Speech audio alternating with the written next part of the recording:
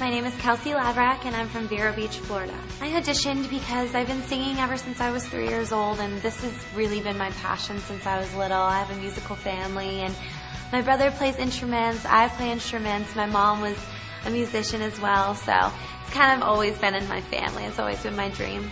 I think what sets me apart from the other contestants, if anything, is just that I'm passionate. I'm very passionate about this. I mean, you can really tell when I'm singing. It all comes from the heart. It really means a lot to me. The most memorable time, I would say, singing in front of a group of people, it was my. It was actually this last summer.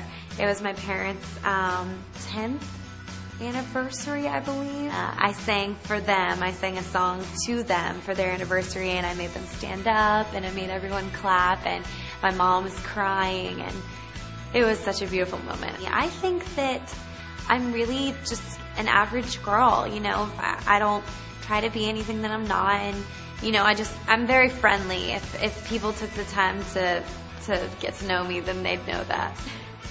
I don't really have any special talents. I can talk like a little girl, I guess.